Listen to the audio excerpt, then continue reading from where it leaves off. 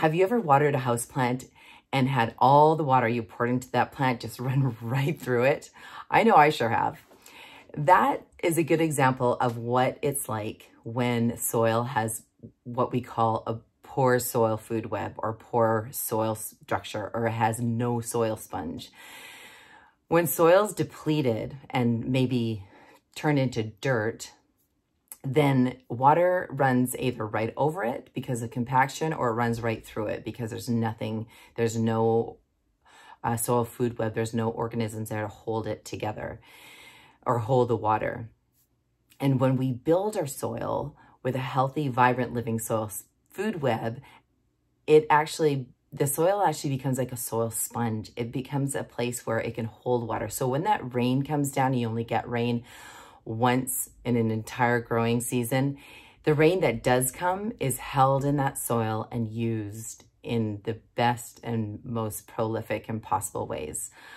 And in this short interview with Dr. Elaine Ingham, she does a lot better job of explaining it than I do here. I'm Natalie Forstbauer, founder and editor-in-chief of Heart and Soil magazine, where we amplify regenerative farming, gardening, and living so that we all can have a beautiful, vibrant world to live in for years to come.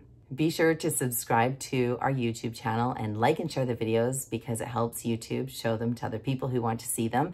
And if you haven't grabbed a subscription to Heart and Soil Magazine, hop on over to heartandsoilmagazine.com and grab yours for just $39.99 a year.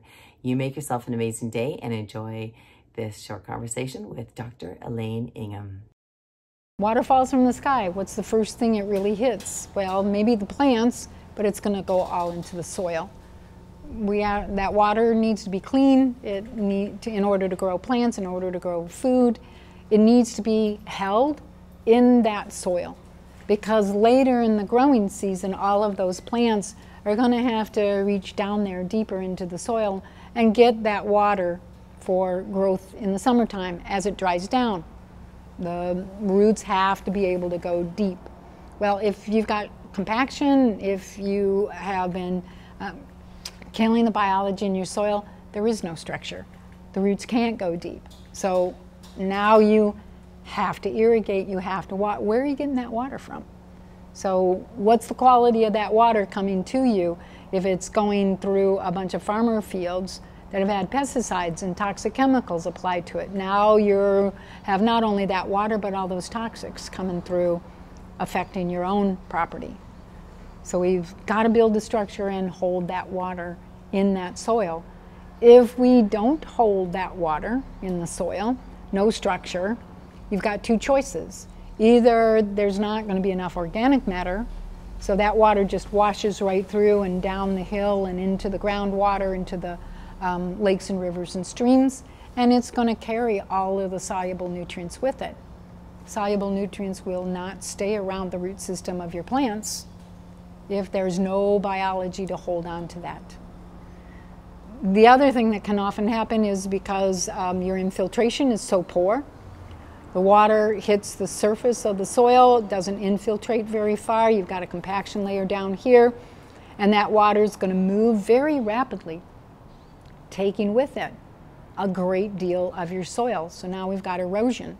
And as that, that um, soil, as the sand, silt, clay particles or organic matter is carried down the hill, you can often have a situation where the whole slope fails and you get a massive avalanche of materials into your rivers and lakes and streams and human beings, if their houses are in the way, if the cars are in the way, tough. We have to do a better job of stabilizing those slopes.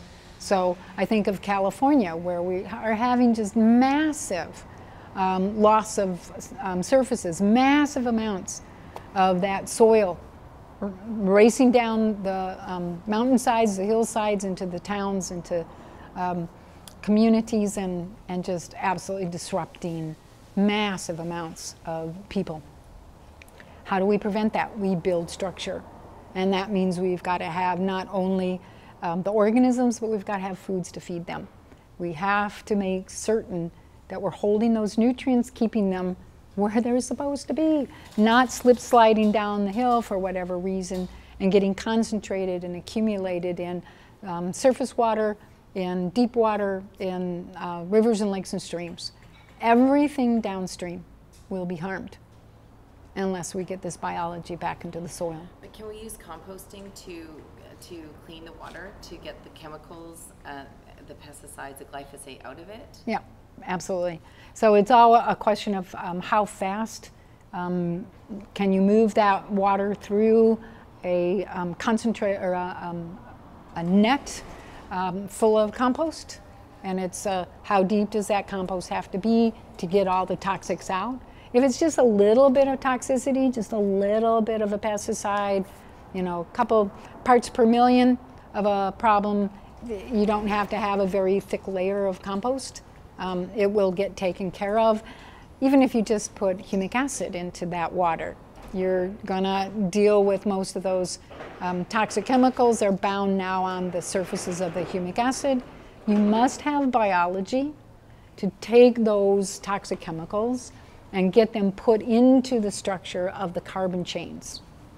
And that's when we really remove those toxic chemicals because now they're part of a normal biological compound. They've been put where they're supposed to be. And that's another thing that the organisms do for you.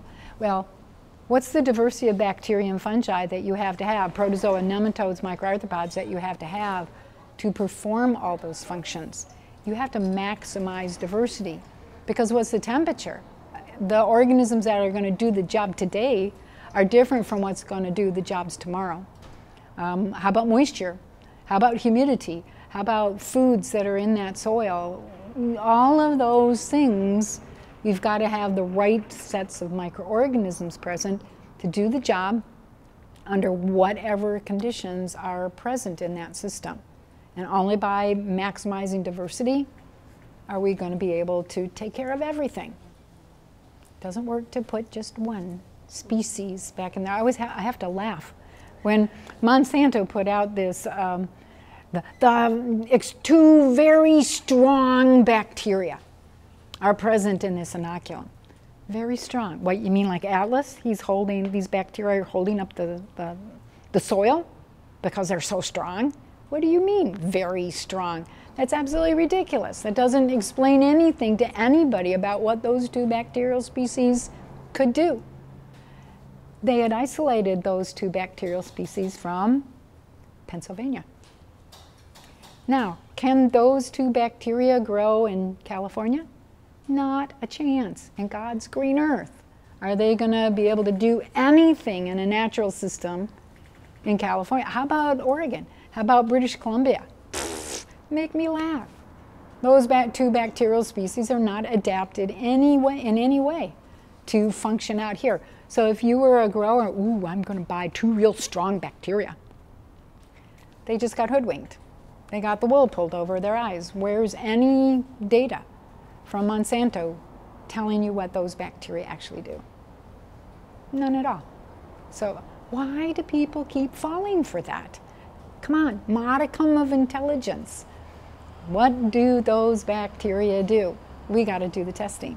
And I'm not aware of any testing that was done before Monsanto sold it to people. Well, okay, if you've got dirt, absolutely no biology in the soil, maybe those two species could have helped out, but not for long. As soon as the other organisms wander back into that area, they're going to be replaced. So why did you waste your money? Grateful you joined us for that conversation and interview. If you haven't subscribed to Heart and Soil Magazine yet, head over to heartandsoilmagazine.com click on that subscribe button and join us for just $39.99 a year. You make yourself an amazing day, and I'm really grateful you're part of our community.